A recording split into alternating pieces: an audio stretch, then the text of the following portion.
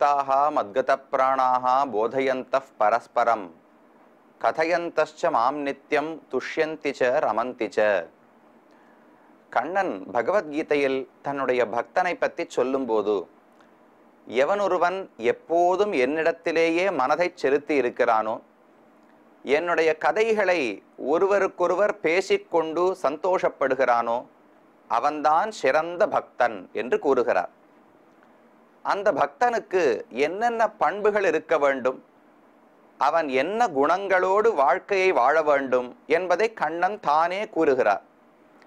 பகவத்கீதையினுடைய ஒரு ஏற்றமே என்னவென்றால் வெறுமனே ஒரு புத்தகத்தில் எழுதி வைத்தா போலே இப்படியெல்லாம் தவம் செய்ய வேண்டும் இன்னென்ன யாகங்களை செய்ய வேண்டும் கர்மயோகம் ஞானயோகம் பக்தி யோகம் செய்ய வேண்டும் என்று தியரட்டிக்கலாக எழுதி வைத்து போகாமல் அதை எப்படி வாழ்க்கையில் கடைபிடிக்க வேண்டும்? ஒரு ஆத்மா என்னென்ன நற்பண்புகளை வளர்த்து கொள்ள வேண்டும்? கண்ணனுக்கு ஒரு ஆத்மா எப்படி இருந்தால் பிடித்ததாக இருக்கும்? என்னென்ன செய்தால் கண்ணனுக்கு பிடிக்காது என்பதையெல்லாம் அழகாக விளக்கி இருக்கிறார். பதிமூன்றாவது அத்தியாயத்தில் ஒரு ஆத்மா பக்தன் வளர்த்து கொள்ள வேண்டிய பல குணங்களை கண்ணன் பட்டியலிடுகிறார். அதிலே அமானித்துவம் கர்வமற்றவனாக பக்தன் இருக்க வேண்டும் என்பதை நாம் கடந்த பகுதியிலே பார்த்தோம். அதைத் தொடர்ந்து மேலே என்னென்ன குணங்களை கூறுகிறார் என்பதை இன்று நாம் பார்க்கலாம். இரண்டாவது குணம் கண்ணன் தெரிவிக்கிறார். அதம்பித்வம் தம்பம் அற்றவனாக இருக்க வேண்டும். தம்பம் தம்பம்னு சொன்னால் ஒரு புகழுக்காக வேண்டி ஒரு தர்ம செயலை செய்வதற்கு தர்ம டம்பம் தம்பம்னு பெயர் சொல்லப்படுகிறது. வேதங்கள் அவனவனுக்கு சில கர்த்தவியங்களை செய்ய வேண்டிய கடமைகளை விதித்துள்ளன. வர்ணாசிரம தர்மங்கள்னு சொல்றோம் இல்லையோ? பிரம்மச்சாரியாக இருந்தால் இன்னென்ன கோட்பாடுகளை மீறாமல் இருக்க வேண்டும். கிரகஸ்தனாக இருந்தால் இன்னென்ன முறையிலே அவன் தர்மங்களை கடைபிடிக்க வேண்டும். சந்நியாசி சந்நியாசிக்கு உலக விஷயங்களில் பற்று இருக்கக்கூடாது எந்த செல்வத்தையும் சேர்த்து வைத்துக் கொள்ளக்கூடாது. ஒரு நாளுக்கு மேல ஒரு இடத்திலே தங்கக்கூடாது. கிராமைக்க ராத்திரம்னு தெரிவிப்பார்கள். ஒரு சந்நியாசி ஒரு ஒரு நாள் இரவு மட்டும்தான் ஒரு இடத்துல தங்கலாமா இல்லாட்டா என்ன ஆகும்? ஒரு ரெண்டு மாசத்துக்கு ஒரு மாசத்துக்கு ஒரே இடத்துல இருக்காருனால் அந்த சந்நியாசி அங்கே இருக்கிறார்னு ஊருக்குள்ள தெரிஞ்சிருமா? அனைவரும் அவரை சேவிக்க வருவார்கள். அவர் ஏதாவது உபதேசங்களை செய்வார். அப்ப அந்த இடத்துல ஒரு பற்று வந்துவிடும். மக்கள் அவருக்கு ஒரு பற்றோடு இங்கு இருக்க வேண்டும்னு வேண்டி விடலாம். அப்ப இது எல்லாமே ஒரு இடத்துல அவரை கட்டுப்படுத்தி விடும் பற்றை ஏற்படுத்தி விடும் இல்லையோ? எந்த அளவுக்கு பற்றில்லாமல் அவர் இருக்க வேண்டும்னால் பற்று ஏற்படுவதற்கான சூழ்நிலைகளையே தவிர்த்து விட வேண்டும். அதனால் ஒரு இரவுக்கு மேலே ஒரு இடத்துல இருந்து அவர் தங்கவே கூடாதாம். அது சந்நியாசிக்கான தர்மம். கிரகஸ்தன் அப்படி இருக்க முடியுமா? கல்யாணம் செய்து இல்லற வாழ்க்கையில் இருப்பவன் ஒரு வீட்டை அமைத்து மனைவி மக்களோடு ஆனந்தமாக இருக்க வேண்டும். குழந்தைகளை பெற்றெடுக்க வேண்டும். அவர்களை நல்லபடிக்கு வளர்க்க வேண்டும். தர்ம காரியங்கள் யாகங்கள் தானங்களை செய்ய வேண்டும். பிரம்மச்சாரிகளும் கிரகஸ் சந்நியாசிகளும் குறையில்லாமல் இருக்கிறார்களான்னு கிரகஸ்தந்தான் பார்த்து ரட்சிக்க வேண்டும். இப்படி எத்தனையோ தர்மங்களை வேதங்கள் விதித்துள்ளன. அதுல யாகம் இஷ்டம் பூர்த்தம் என்று இரண்டாக சொல்லுவார்கள். இஷ்டம்னு சொன்னால் தேவதைகளை குறித்து நாம் செய்யக்கூடிய யாகங்கள் ஹோமங்கள் இதுக்கெல்லாம் இஷ்டங்கள்னு பெயர். பூர்த்தம்னு சொன்னால் மக்களுக்கும் மற்ற ஜீவராசிகளுக்கும் நல்லது செய்யும்படிக்கு சில தர்ம காரியங்கள் இருக்கும் இல்லையோ. இப்ப மரம் நடுவது பெரிய தர்ம காரியம். ஏன்னா மரம் என்பது தன்னலமற்ற ஒரு ஜீவராசியோ இல்லையோ. அதனுடைய பழத்தை அது ருசிப்பது கிடையாது. அதனுடைய நிழலாலே தான் எந்த ஒரு பயனையும் அடைவது கிடையாது. மரம் என்ன பண்றது? எத்தனை வெயில் இருந்தாலும் தான் வாங்கி கொள்ளுகிறது. ஆனா கீழே நிற்பவனுக்கு நிழலை கொடுக்கிறது. அதே போல மழையாக இருந்தாலும் அதற்கு குடையாக இருக்கிறது. பழங்களை மற்றவர்களுக்கு கொடுக்கிறது. தனக்குன்னு எதையுமே செய்து கொள்வது கிடையாதோ இல்லையோ. அப்ப அந்த மரத்தை நட்டு வளர்ப்பது என்பது ஒரு பெரிய தர்ம காரியம். குளம் வெட்டுவது குளங்களை பராமரிப்பது என்பது ஒரு பெரிய தர்ம காரியம் மந்திரங்கள் கோவில்களை ஏற்படுத்துவது என்பது ஒரு தர்ம காரியம் தானங்கள் வஸ்திரம் தானம் பண்றோம் அன்னதானம் பண்றோம். இதை போல எத்தனையோ தானங்களை செய்வதும் ஜீவராசிகளுக்கு உதவும் இல்லையோ இதுக்கெல்லாம் பூர்த்தம்னு பெயர். இஷ்டம் பூர்த்தம் என்று இரண்டாக சொல்வார்கள். இஷ்டாபூர்த்தம் பகுதா ஜாத்தம் ஜாயமானம் விஸ்வம் பிபர்த்தி புவனஸ்ய நாபிகி என்று பகவானை பத்தி உபனிஷத் சொல்லுகிறது. பகவான் தான் அனைத்துக்கும் நாபி நடுப்புள்ளியா இருக்காராம். எதுக்குனால் உலகத்தில் என்னென்ன இஷ்டங்களும் பூர்த்தங்களும் செய்யப்படுகின்றனவோ அவை அனைத்தையும் பகவான் கண்ணன் தான் தாங்கிக் கொண்டிருக்கிறாராம். அவர்தான் இஷ்டாபூர்த்தங்களை எல்லாம் நிறைவு செய்ய வைக்கிறார். அதுக்கு என்னென்ன பயன் நமக்கு கிடைக்க வேண்டுமோ அதையும் கண்ணன் தான் கொடுக்கிறார். அப்ப அந்த இஷ்டாபூர்த்தங்களை செய்யும் போது என்ன புத்தியோடு செய்ய வேண்டும்? நான் இந்தந்த செயல்களை தர்ம காரியங்களை செய்யும் போது என்ன கண்ணோட்டம் என்ன புரிதலோடு செய்ய வேண்டும்னால் இது என்னுடைய கடமை. சாஸ்திரம் எனக்கு விதித்த கட்டளை. இன்னென்னபடி பிறந்தவன் இன்னென்ன தர்மங்களை செய்ய வேண்டும் இந்த ஆசிரமத்தில் இருப்பவன் இந்தந்த தர்மங்களை செய்ய வேண்டும் என்று வேதம் சொல்லுகிறதோ இல்லையோ? வேதம் சொல்லுகிறதென்றால் பகவானே கட்டளையிடுகிறார்னு அர்த்தம்.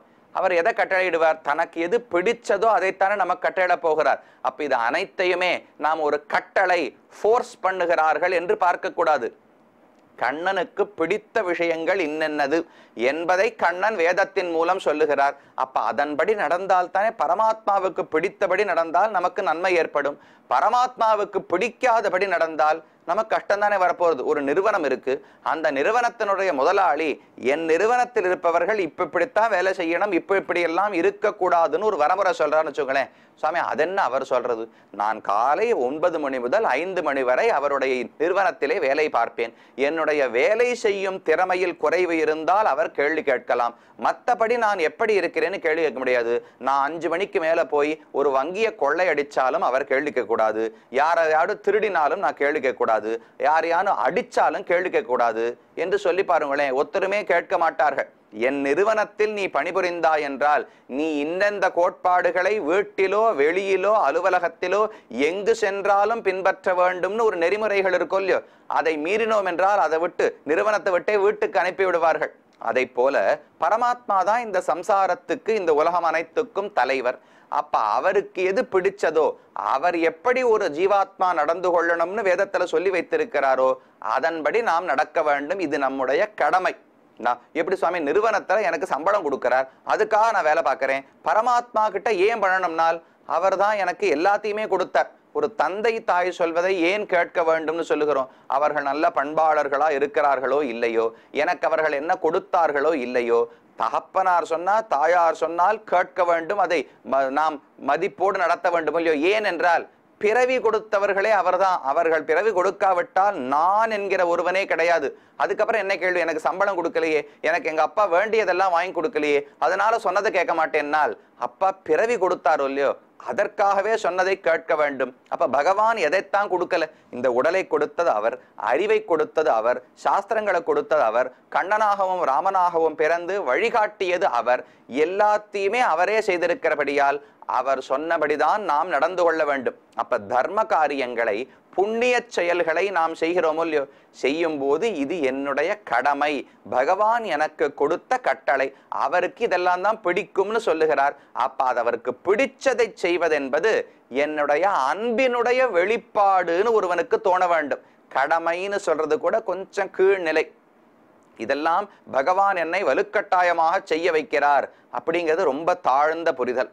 அதை விட உயர்ந்த புரிதல். இதெல்லாம் என்னுடைய கடமைகள். எனக்கு ஒரு குழந்தையை பெற்றோம்னா அதுக்கு வளர்க்கணும் சோறு போடணும் துணிமணி வாங்கி கொடுக்கணும் பள்ளிக்கூடத்துக்கு அனுப்பணும் அதெல்லாம் அடிப்படை கடமைகள் தானே. யாரா நம்மள என்ன கழுத்தை பிடிச்சு தள்ளி இதெல்லாம் பண்ண பண்ணியே ஆக வேண்டும்னு சொல்லுகிறார்களான்னு. குழந்தை பெற்றால் அடிப்படை கடமைகள். அதை போல நாம் இந்த உலகத்தில் பகவானால் பிறந்திருக்கிறபடியால் இதெல்லாம் அடிப்படை கடமைகள் என்று பார்ப்பது இரண்டாவது நிலை. மூன்றாவது ஒரு உயர்ந்த நிலை இருக்கு. இது அனைத்துமே என்னுடைய அன்பினுடைய வெளிப்பாடு என்று நினைத்துக் கொள்ள வேண்டும். நான் ஒரு மரம் நடுகிறேனா? எதற்காக? பகவான் மரம் நட்டா ஊருக்கெல்லாம் உதவும்படி ஏற்படுத்தியிருக்காரோ இல்லையோ? அப்ப எனக்கு பிடிக்கும். பகவான் எதெல்லாம் பிடிக்கும்னு சொல்லியிருக்காரோ அதை நிறைவேற்றுவது என்னுடைய அன்பினுடைய வெளிப்பாடு. அதனாலே நான் இதை செய்கிறேன். தகப்பனாரோ தாயாரோ ஒரு பொம்மை குழந்தைக்கு வாங்கி கொடுக்குறான்னா குழந்தை நேத்திக்கு நன்னா நூறு குடம் ஜலம் இழுத்து கொடுத்தான் கிணத்துலேருந்து.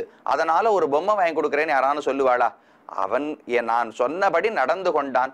என்னுடைய தகப்பனாருக்கு இன்னென்னது பிடிக்கும் குழந்தைக்கு இன்னென்னது பிடிக்கும் என்றால் அதை செய்து கொடுப்பதில் நம்மளுடைய அன்பு தெரிகிறதோ இல்லையோ? அந்த அன்பின் வெளிப்பாடாக கைங்கரியமாகத்தான் தர்ம காரியங்களை செய்ய வேண்டும். அப்படி இல்லாமல் இந்த தர்ம காரியங்களே எனக்கு ஒரு புகழை கொடுக்கும். என்று சில பேருக்கு ஆசை வரலாமோ இல்லையோ அதுக்குத்தான் தம்பம்னு பெயர்.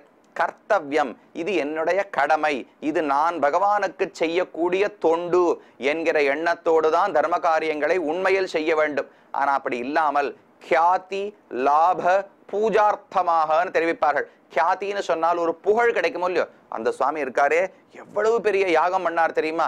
அவர் பண்ண யாகம் ஊரே வந்திருது ஆயிரம் ரெண்டாயிரம் பேர் வந்திருந்தா எல்லாருக்கும் சாப்பாடு போட்டார் பெரிய பந்தல் போட்டார் பத்து கோடி ரூபா செலவு பண்ணாராம்.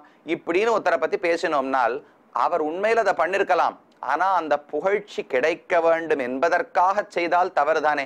நிறைய பேருக்கு அன்னதானம் பண்ணணும்னு பண்ணுவது வேறு. அன்னதானம் பண்ணேன்னு எனக்கு பெயர் கிடைக்க வேண்டும் என்பதற்காக செய்தால் அதுக்கு தான் தம்பம்னு பெயர். அப்போ ஒரு புகழ் கிடைக்கும். அல்லது பூஜை இவர் ரொம்ப உயர்ந்தவராக இருக்கிறனால் ஊரெல்லாம் வந்து அவர் விழுந்து சேவிக்குமோ இல்லையோ? அப்படி சேவிக்க வேண்டும். அனைவரும் என்னை தொழ வேண்டும் என்பதற்காக நான் ஒரு தர்ம காரியத்தை செய்தான் என்றால் அது பூஜார்த்தமாக செய்கிறேன் கைங்கரியமா பண்றேன்னு அர்த்தம் கிடையாது.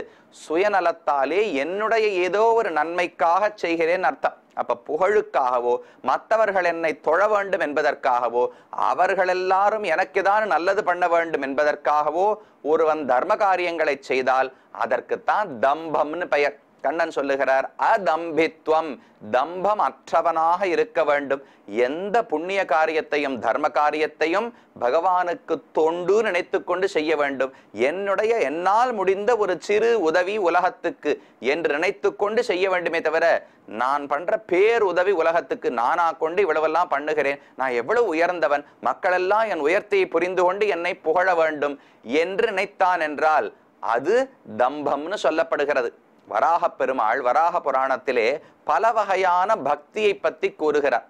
என்னுடைய கதையை பற்றி மத் கதாசிரவணே பிரீத்திகி ஸ்வரநேத்ராங்க விஷ் விக்ரியா மமானுஸ்மரணம் நித்யம் மதர்த்தே டம்பவர்ஜனம் என்று பக்தியினுடைய வெளிப்பாடுகளை தான் பட்டியலிடும் போது மதர்த்தே என்னிடத்தில் என் பொருட்டு தம்ப வர்ஜனம் தம்பமற்றவனாக இருக்க வேண்டும்னு வராக புராணத்திலையும் வராக பெருமாள் பூமி பிராட்டிக்கு உபதேசிக்கிறார். என்னிடத்துல தன்பம். அவர் உலக விஷயத்துல தம்பம் இருக்கிறத பத்தி சொல்லல.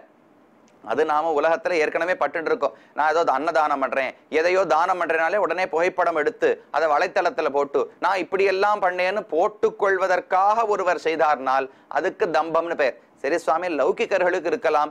வைதிகத்துல தம்பம் வருமானால் பகவானுக்கு நான் ஒரு காரியம் பண்ணும்போதே தம்பம் வரலாமோ இல்லையோ ஒரு கோவிலுக்கு உபயம் எடுத்து பண்றேன்னு வச்சுக்கோங்களேன் ஒரு உற்சவம் இருக்கு. உற்சவத்துக்கு பகவானுக்கு நல்ல உயர்ந்த மாலையா சமர்ப்பிக்கணும். அவருடைய திருமேனிக்கு பூ போல என்னென்ன வர்ணங்கள்ல புஷ்பம் இருந்தா நன்னா இருக்குமோ அதையெல்லாம் கலந்து சாத்த வேண்டும்னு எண்ணம் இருக்கும் வரை எவ்வளவு பெரிய மாலையை சாத்தினாலும் தவறு கிடையாது. அதுக்கு எவ்வளவு செலவு பண்ணாலும் தவறு கிடையாது.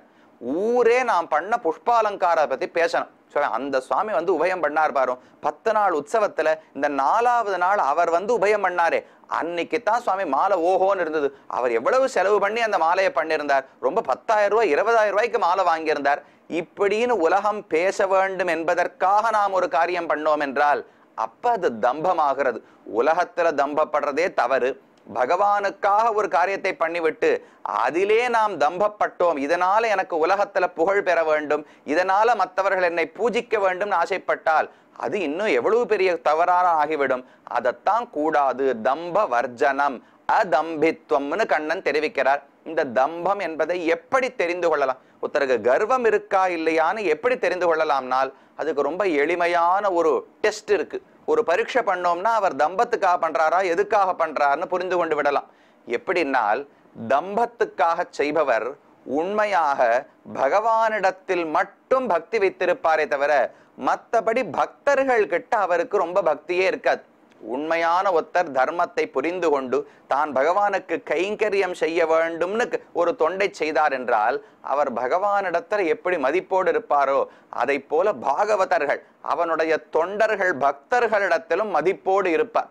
அப்படி இல்லாமல் எனக்கு புகழ் வேணும்னு வச்சுங்களேன் புகழுக்கு நான் என்ன பண்ணணும்? கடவுளுக்கு பகவானுக்கு நான் ஏதாவது ஒரு தொண்டு செய்தேன்னா ஒரு பெரிய தங்க கவச்சம் பெரு பெருமாளுக்கு வாங்கி சாத்தினேன் இல்லை அவருக்கு புதுசாக முத்தங்கி பண்ணேன் ஒரு புதுசாக வாகனம் பண்ணேன் இப்போ மாலை வாங்கி கொடுத்தேன். இப்போ எங்க பார்த்த கோவில் முழுக்க அலங்காரம் தோரணங்கள் கட்டி அலங்காரம் பண்ணேன். இதை போல எத்தனையோ பண்ணலாமோ இல்லையோ? இதையெல்லாம் செய்யும் போது அவருக்கு தம்பம் இருக்கிறதா இல்லையான்னு எப்படி நாம பரீட்சை பண்ணி பார்க்கலாம்னால் அப்படி செய்பவருக்கு பகவானிடத்தில் பயமோ பக்தியோ கண்டிப்பாக இருக்கும். ஆனால் அவரை சுத்தி இருக்கக்கூடிய பக்தர்கள் இருப்பார்களே. அவர்கள் பேர்ல பெருசா மதிப்பே இருக்காது.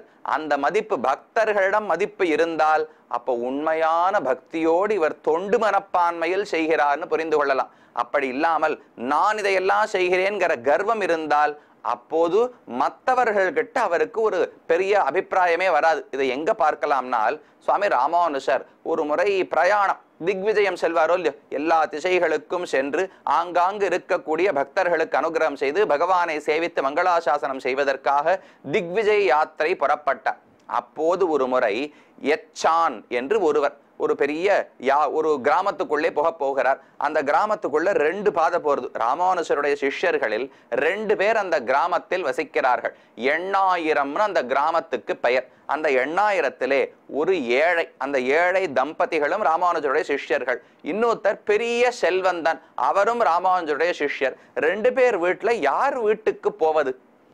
ஒரு ஊருக்கு போறேன்னா ராமானுஜர் அவருடைய மற்ற சிஷ்யர்கள் எல்லாரும் எங்கோ தங்கி நீராடி உணவு உண்டு மேல பிரயாணத்தை தொடர வேண்டுமோ இல்லையோ?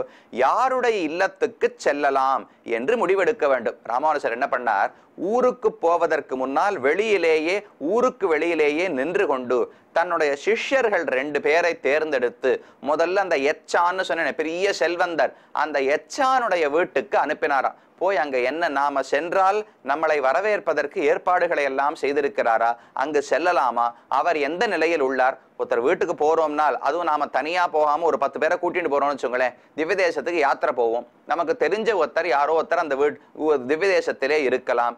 அவர்கிட்ட ஒரு குறைந்தபட்சம் ஒரு வார்த்தை சொல்லிவிட்டு நாங்க வரோம். ரெண்டு பேர் இல்ல அஞ்சு பேர் இருக்கோம். பிரசாதம் ஏதாவது கிடைக்குமா? ரொம்ப சிரமம் எதுவும் கிடையாதா? என்று விசாரித்து கொண்டுதானே போக வேண்டும். ஒண்ணுமே சொல்லாம திடீர்னு பத்து பேர் போய் உங்க ஆத்துல தான் சாப்பிடலாங்கிற நம்பிக்கையோடு வந்தேன். நீங்க சாப்பாடு இல்லாம போடமா அனுப்ப மாட்டேங்கிற நம்பிக்கையோடு வந்தேன்னு சொன்னால் அவர்கள் நன்னா சாப்பாடு போடலாம்.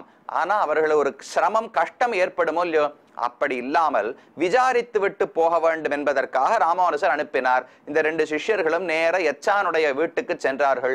பெரிய மாளிகை.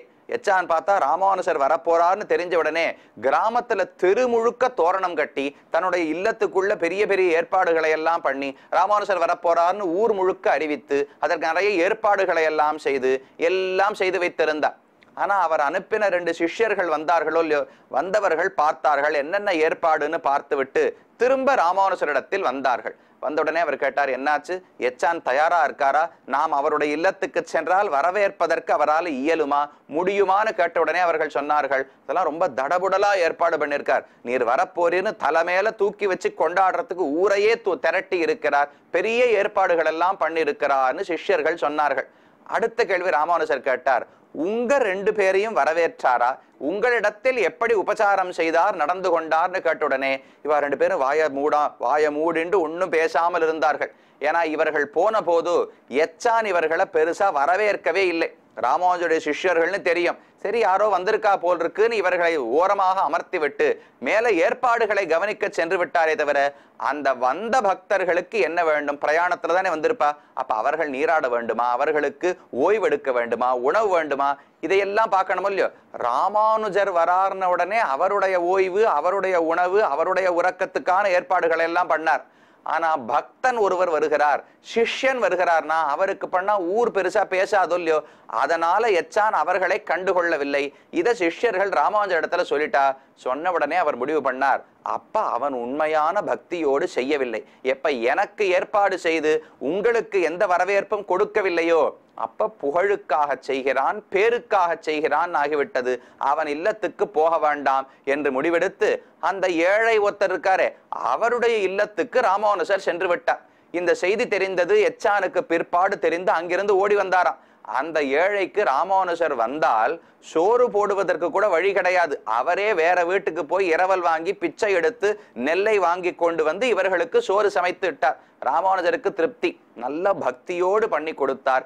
என்று அந்த ஏழை சிஷ்யன் இருந்தாரே அவருடைய இல்லத்திலே தான் ராமானுஜர் தங்கி இருந்தார் இது தெரிஞ்ச உடனே எச்சான் அங்கிருந்து ஓடி வந்தாராம். நான் எவ்வளவு பெரிய ஏற்பாடெல்லாம் பண்ணி வச்சிருக்கேன். நீர் அங்க வராமல் இங்கு வந்திருக்கிறீரே. கண்ணன் தான் ஹஸ்தினாபுரத்துக்கு போனாரோ இல்லையோ? பாண்டவர்களுக்கு தூதனாக அஸ்தினாபுரம் சென்றார். தூதன்னு சொன்னால் ராஜ தூதன் தானே. தூதன்னா அப்போ ஒன்று ராஜாவினுடைய அரண்மனை இல்லை இளவரசனுடைய அரண்மனை இல்லை பீஷ்மர் துரோணர் போன்ற பெரியவர்களுடைய அரண்மனை. அங்குதானே தங்க வைப்பார்கள். கண்ணன் என்ன பண்ணாரா? இவா எல்லார் அரண்மனையும் விட்டுட்டார். சின்ன வீடு குடிசை ஆட்டம் இருந்ததோ இல்லையோ விதுரனுடைய வீடு. விதுரனுடைய இல்லத்துக்கு தான் கண்டன் சென்றாராம். ஏனென்றால் இவர்களெல்லாம் கர்வத்தால் செய்கிறார்கள். விதுரன் மட்டும்தான் அன்போடு என்னை வரவேற்பான் என்று அங்கு சென்று விட்டார். அதை போல ராமானுசரம் எச்சானுக்கு கர்வம் இருக்கு தம்பம் இருக்கு புகழுக்காக ராமானுசரை வரவேற்கணும். ராமானுசர் என்னுடைய இல்லத்துக்கு வர வேண்டும். அதை மக்கள் எல்லாரும் பார்க்க வேண்டும். அவரை ரொம்ப கொண்டாடி கௌரவிக்க வேண்டும். இதனால் எனக்கு பெரிய செல்வந்தன் பக்தன்னு புகழ் கிடைக்க வேண்டும் என்கிற எண்ணம் இருந்ததோ இல்லையோ அதை புரிந்து கொண்டபடியால் ராமானுஜர் அங்கு செல்லவில்லை. ஏழையினுடைய வீட்டுக்கு சென்று அங்கு தங்கி இருந்தார். எச்சான் ஓடி வந்து காலில் விழுந்து என்னாச்சு? வரவே இல்லை என்னால். நீ என்னை வரவேற்கிறதுக்கு ஏற்பாடு சரியா பண்ணலையே. மனதில் இருக்கக்கூடிய பாவம் முக்கியம். நாம் ஒரு பெரியவர் வருகிறார்னால் பெரியவர் வந்தார்னா என்னுடைய வீட்டுக்கு பெரியவாள்லாம் வர வீடுன்னு பேர் வரும். என்பதற்காக செய்யக்கூடாது.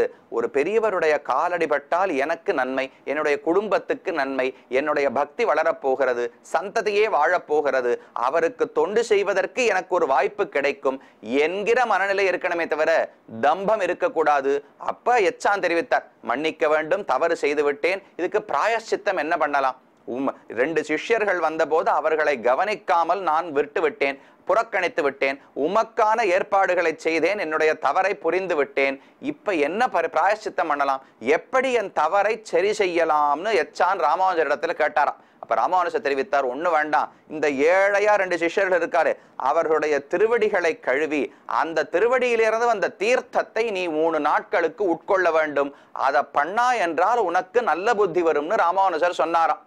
எப்படி இவர் பெரிய செல்வந்தர் பெரிய ஏற்பாடுகளை எல்லாம் பண்ணியிருக்கார் ஆனா இந்த ஏழை உண்மையான பக்தியோடு ராமானுசரையும் அவருடைய சிஷ்யர்களையும் வரவேற்று கௌரவித்தாரோ இல்லையோ? அப்ப ராமானுசர் சொன்னார் இப்படிப்பட்ட பக்தனுடைய ஒரு மிச்சம் அவர் உண்ட மிச்சத்தையோ அவருடைய ஸ்ரீபாத தீர்த்தத்தையோ நாம் ஸ்வீகரித்தோம் என்றால் அப்பதான் உண்மையான பாவ சுத்தி மனதினுடைய தூய்மை எண்ண தூய்மை என்பது அப்போதுதான் வரும். அப்போதுதான் கர்வத்துக்காக. தம்பத்துக்காக புகழுக்காக பூஜைக்காக ஒரு தர்ம காரியத்தை செய்யாமல் இது கர்த்தவியம். இது என்னுடைய கடமை. இது என்னுடைய ஒரு சின்ன பங்கு. இது நான் செய்யக்கூடிய ஒரு தொண்டு என்கிற மனப்பான்மையோடு செய்ய வேண்டுமோ இல்லையோ? அம்பரமே தண்ணீரே சோரே அறம் செய்யும் எம்பெருமான் நந்தகோபாலா எழுந்திராய் என்று ஆண்டாள் நந்தகோபாலனை பாடுகிறார் அம்பரம் நிறைய வஸ்திரம் தானம் பண்ணுவாராம். தண்ணீர் தீர்த்த தானம் பண்ணுவாராம். சோறு அன்னதானம் பண்ணுவாராம். இதெல்லாம் எப்படி கொடுப்பார்? புகழுக்காக பேருக்காக கொடுப்பாரானால் அம்பரமே தண்ணீரே சோரே அறம் செய்யும் எம்பெருமான் நந்தகோபாலான்னு தெரிவித்தார். அறம்னா தர்மம். இதெல்லாம் தர்ம காரியமாக செய்வார். கர்த்தவ்யம் தாத்தவ்யம் இது எத்தானம் தீயத்தே அனுபகாரணேன்னு கண்ணன் கீதையில சொல்றார். உண்மையான தானம்னா என்ன தெரியுமா? இது கொடுப்பது என்னுடைய பாக்கியம். என்னுடைய கடமை நினைத்து கொண்டு எவன் ஒருவன் கொடுக்கிறானோ அதுதான் உண்மையான தானமா? இவர் என்கிட்ட பிச்சை எடுக்கிறார் என்கிட்ட நிறைய இருக்கு. சரி கொடுப்போம். ஒழியட்டும். ஏதோ அவரும் வாழ்ந்து போகட்டும். இப்படிங்கிற எண்ணத்தோடு கொடுப்பது அறம் செய்வது கிடையாது. என்னிடத்துல பகவான் கொடுத்து வச்சிருக்கார். அதை பகிர்வதற்குத்தானே என்னிடத்தில் கொடுத்திருக்கிறார். என்கிற எண்ணத்தோடு கொடுக்க வேண்டும். அது இல்லாவிட்டால் தம்பம். அப்ப தம்பம் இருக்கா இல்லையான்னு எப்படி தெரிஞ்சுக்கலாம்? நாமளே சுயபரீட்சை பண்ணலாம். பகவானுக்கு நிறைய தொண்டுகள் பண்ணணும். அதை உலகமெல்லாம் என்ன தெரிஞ்சு பாராட்டணும் நாம நினைக்கிறோம்னால் அப்ப பகவானிடத்தில் மட்டும்தான் நமக்கு பக்தி இருக்கும். எப்ப பாகவதர்களிடத்தில் பக்தர்களிடத்தில் நமக்கு ஒரு மதிப்பு ஏற்படுகிறதோ அப்பத்தான் நம்மிடத்தில் தம்பம் இல்லை உண்மையான பணிவும் தர்ம சிந்தனையும் உள்ளது என்று நாம் புரிந்து கொள்ளலாம். அப்ப அமானித்துவம் கர்வம் இல்லாமல் இருக்கணும்னு பார்த்தோம். அதம்பித்துவம் தம்பம் பூஜைக்காகவோ புகழுக்காகவோ அறச்செயல்களை செய்யாமல் கடமை உணர்ச்சியோடு தொண்டு மனப்பான்மையோடு செய்ய வேண்டும் என்று கண்ணன் தெரிவித்தார். மேல் என்னென்ன குணங்கள் என்பதை நாம் தொடர்ந்து பார்க்கலாம்.